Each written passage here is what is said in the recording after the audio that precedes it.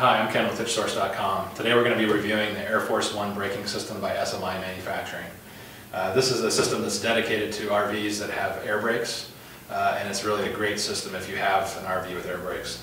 Um, so what we have here, this, this little unit here mounts to the back of your RV, and uh, it taps into your supply air that's used to, to stop your, uh, your motorhome.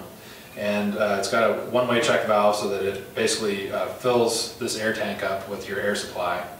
Uh, this air supply is then used to uh, power the brakes on the, on the tow vehicle. And uh, this, uh, this is a relay valve on the front. And the way that this works is the, the air, the regulated air that is used to apply the brakes on your, on your coach is tapped into this little unit here. it doesn't actually draw any air, so it doesn't affect the braking on your, on your coach. but it measures how much pressure there is and it mirrors that pressure on the tow vehicle. So that air pressure is then used to apply the brakes in a similar fashion.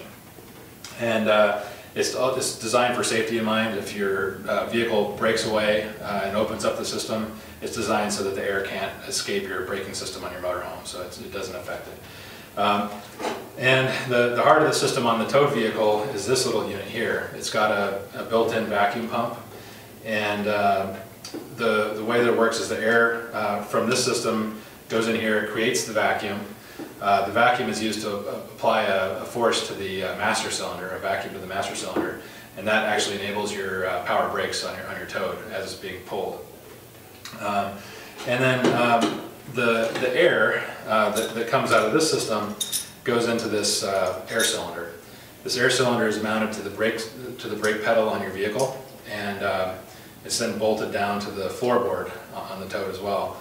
And so when that, that uh, air pressure is applied, uh, this air cylinder engages and uh, depending on how hard you're braking on the coach, uh, it'll apply more or less pressure to that brake pedal. And uh, so as it engages, it pulls the brake pedal down towards the floor, just like you would if you were, if you were sitting in the, uh, in the driver's seat. And so it's really a, a, pretty simple but really elegant system in the way that it works and it's probably the, one of the most proportional systems out there. Uh, so uh, for do-it-yourselfers, one of the advantages of this is it has really good installation instructions. It's also got a 30-minute DVD that actually takes you through the whole process. Um, so uh, for do-it-yourselfers, it's great. And if you have a mechanic that you'd like to have do it, uh, they'll also appreciate that. Um, it comes complete with all the fittings and, um, and connectors that you need to install it. Uh, it even has um, some, some wire shrouds and other, other ways to make it a really clean installation. Um, it has an indicator for when the brake system is being applied, uh, and it's typically applied right on the, on the front of the rearview mirror of the, of the toad, and that gives you the ability to see it in the, in the rearview camera or, um, or in the rearview mirror.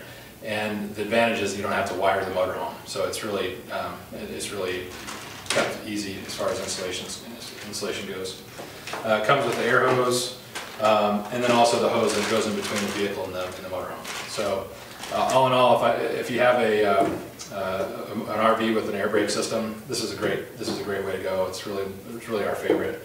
Um, and uh, if you have any questions, feel free to give us a call. Uh, we have a lot of braking systems. This is this is one of them.